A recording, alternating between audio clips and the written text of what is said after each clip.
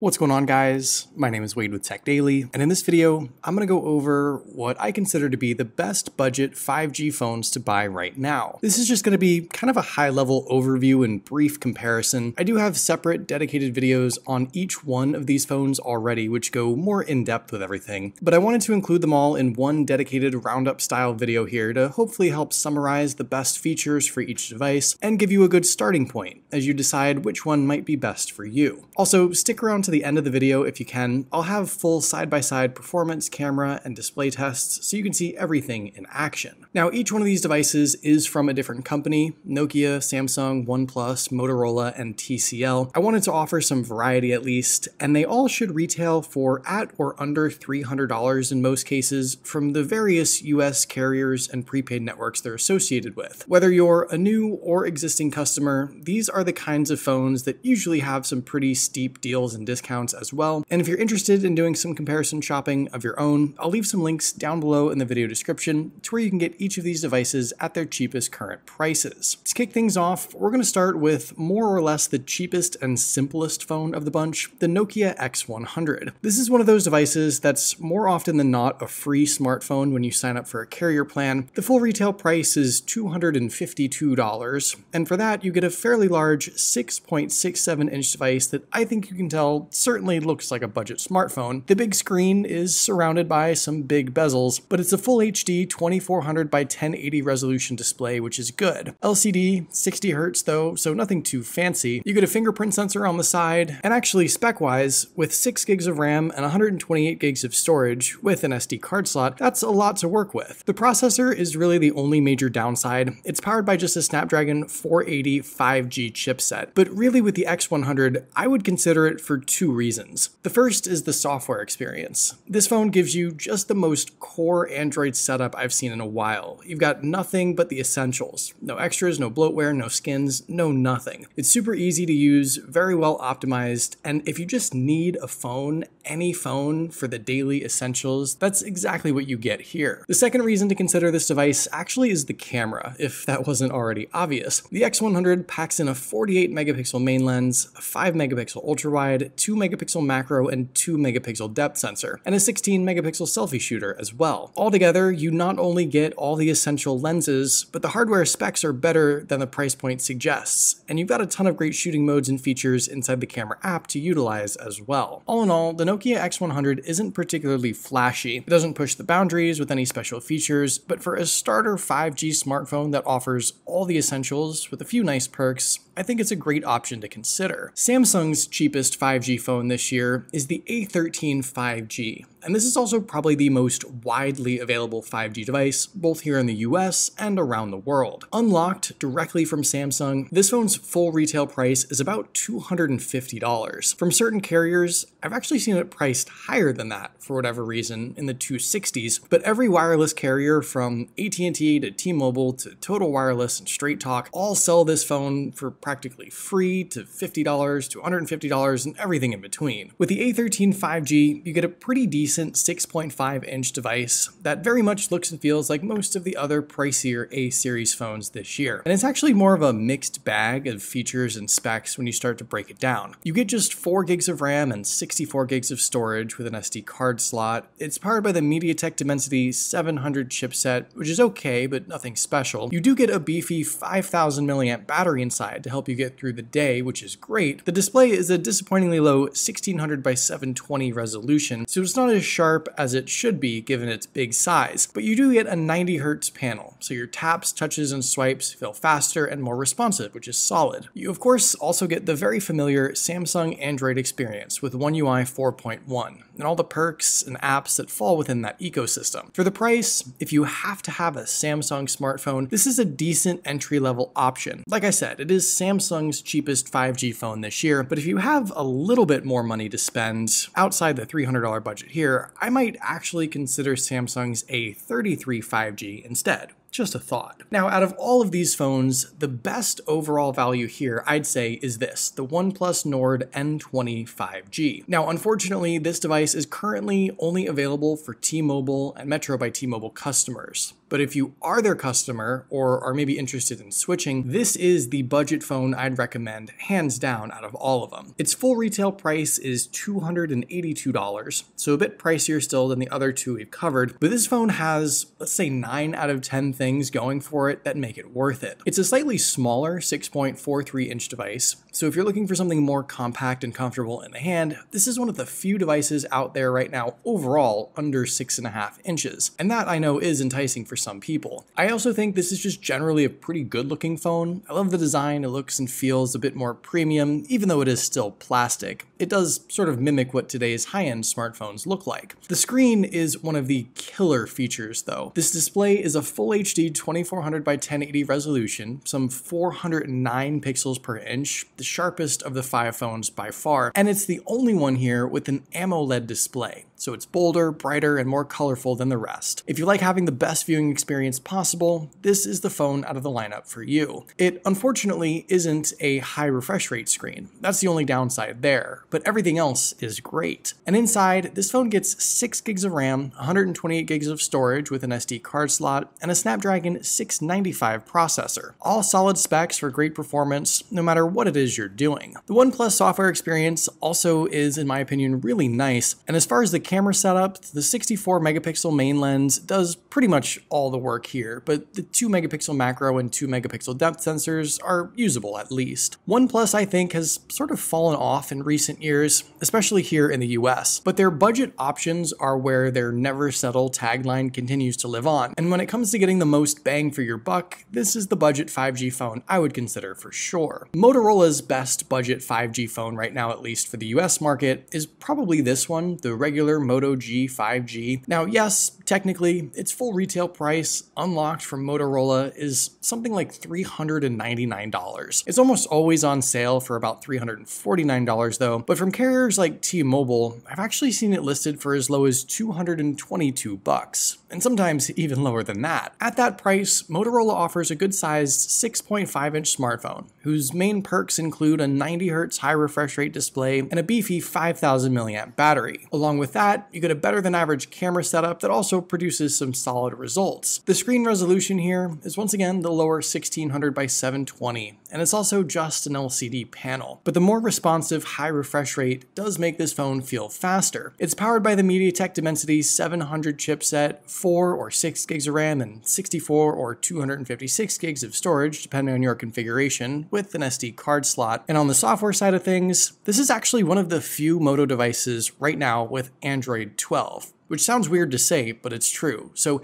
that in and of itself is also a bit of a perk. Across the board this year, there's probably no other Motorola device I'd outright recommend. So if you want to stick with Moto, this Moto G5G is probably your best bet. Finally, we've got a bit of a newcomer here. This is the new TCL Stylus 5G. And while TCL themselves aren't new to the budget 5G smartphone space, this particular stylus device is. And in fact, it's the first new stylus smartphone to hit the market in quite a few years. And I do think think this is a better value overall than, say, Motorola's G styluses this year. Now, once again, the stipulation here is that this is a T-Mobile and Metro specific device. But if you're already their customer or are willing to make the switch, for about $258, this is a great option to consider. This is a really big 6.81 inch smartphone, the biggest of the bunch by far. And I do like the look of this one too. It's clean and simple, all flat with no crazy colors or designs. Obviously, that big screen is best used for its main feature, the built-in stylus, and all the apps and perks that go along with it. Now this isn't a Samsung Note or S22 Ultra competitor, it's your basic stylus setup. But TCL includes a few really robust apps like Nebo and MyScript Calculator, which are advanced paid-for apps you get for free to use with that stylus. There's a whole bunch of other stylus stuff too, about a dozen or so apps built right in, and you can use the stylus with whatever other third-party apps you like, from Google for example, or whoever else. On top of all that, you get a full HD 2460 by 1080 screen, 4 gigs of RAM, but 128 gigs of built-in storage with an SD card slot, the MediaTek Dimensity 700 chipset, a quad lens camera setup, and TCL's Android 12 skin, which takes some getting used to, but honestly is pretty well optimized for this device, and includes a lot of great custom stuff, which is genuinely useful. TCL has silently been invading the US smartphone space, and out of all of the devices they've released so far, I think this is the one to consider. Mainly for the stylus, of course, course, but also because it seems to be the best overall value they've offered yet. Now, to just finish things off here, and hopefully make everything crystal clear, here are some side-by-side -side comparisons so you can see some real numbers and real features with each device all at once. Starting with the Geekbench scores, interestingly enough, the least powerful device of the five is Samsung's A13 5G. It, along with the Moto G and the TCL stylus, all actually have the same processor, but it looks like it isn't utilizing it in the same way. Tossing in the Nokia X100, these four phones honestly don't have too much of a difference or an advantage either way when it comes to the processors, and it's really the OnePlus Nord that's noticeably far ahead by comparison. You can also see the A13 and TCL stylus both have 4 gigs of RAM, the other three phones have 6 gigs, so that's a factor in speed and performance as well. Really though, across the board, if you want the most capable device, noticeably, measurably better, the OnePlus Nord N20 is your answer. And it's really sort of tough to do a speed test with all five phones at once, and each one of these really do run very different Android skins, so with the user experience, I think this is going to come down to personal preference more than anything else. Like I mentioned though, for just your core basics, the Nokia X100 gives you just the essentials, Samsung's Android experience of course is what I think most people would be familiar with, and OnePlus really does offer the smoothest, most fluid OS experience of the bunch. But again, this just comes down to personal preference more than anything else. With the displays, like I mentioned earlier, the OnePlus Nord is also the only one with an OLED panel, so it's going to be the brightest, the boldest, the most colorful, and likely the most pleasing to look at out of the bunch. Resolution-wise, Samsung's A13 5G and the Moto G 5G are at a disadvantage here being only 720p, so sharpness and clarity aren't going to be too great compared to the 1080 resolutions of the rest. If viewing experience is most important to you, the OnePlus Nord has the advantage here as well. And when it comes to the cameras, here are just a couple quick sample pics just to give you an idea of what we're working with. Obviously, all five of these phones produce vastly different images, the color, contrast, exposure, and overall look. But to me, the Moto G 5G and the Nokia X100 actually both produce the most